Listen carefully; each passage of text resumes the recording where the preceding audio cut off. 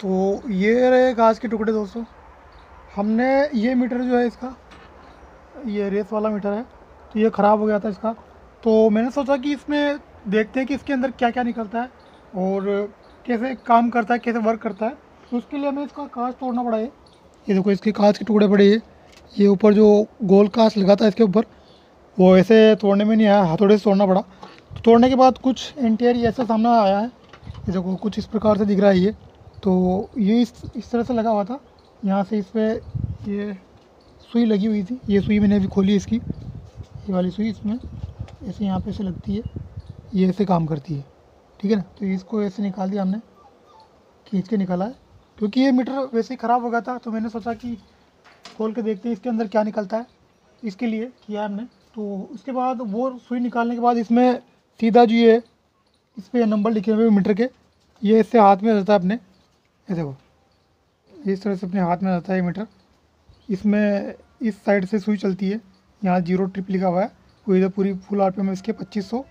और सौ R P इसके अंदर लिखे हुए हैं। मतलब एक पॉइंट का मतलब सौ आर पी है। ऐसा कुछ इस पर लिखा हुआ है। और पंद्रह सौ इसमें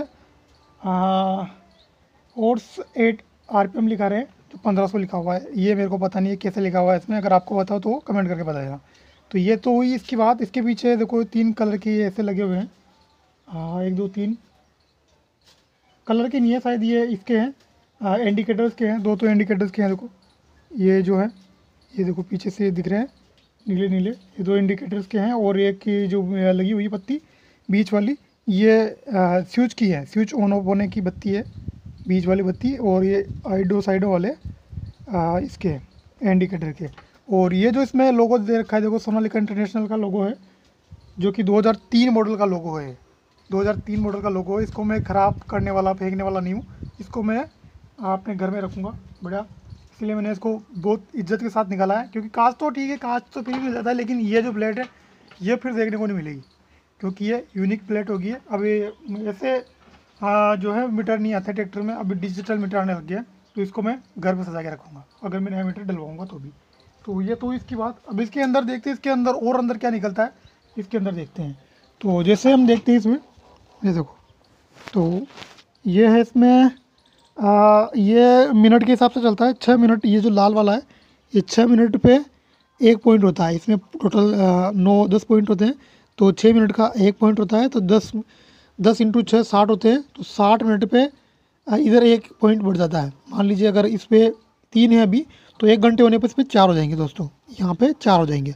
तो ऐसे करके इसमें इसमें घंटे हैं, इसमें दस घंटे हैं, इसमें सौ घंटे हैं और इसमें हज़ार घंटे हैं। तो ऐसे इसका सिस्टम ये अपना चला हुआ, बंद हो गया था मीटर करीब इसको दो दो से तीन साल हो गए बंद हुए।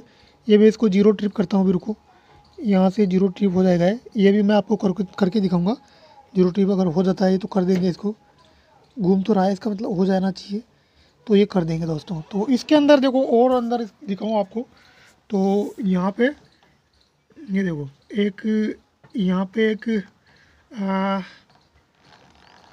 ये लगा हुआ है छोटा सा मतलब बेरिंग टाइप है ये जिसमें कटवट लगे रख, लगा रखे इन्होंने। पता नहीं क्या है सिस्टम है इसमें ये कैसे वर्क करता है देखो।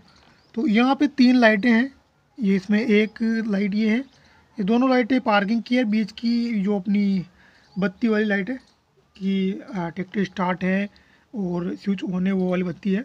और इसमें अंदर ये। तो अगर ये हो जाता है तो इसको हम बिल्कुल नौ सौ निन्यानवे पे सेट करते हैं। नौ हज़ार नौ सौ निन्यानवे पे सेट करते हैं अगर हो जाता है। तो देखते हैं करके अगर हो जाता है तो वैसे सेट करेंगे। Tata. Bye bye. Bye bye. Subscribe करो उनको सब्सक्राइब करो। सब्सक्राइब करो। सब्सक्राइब करो।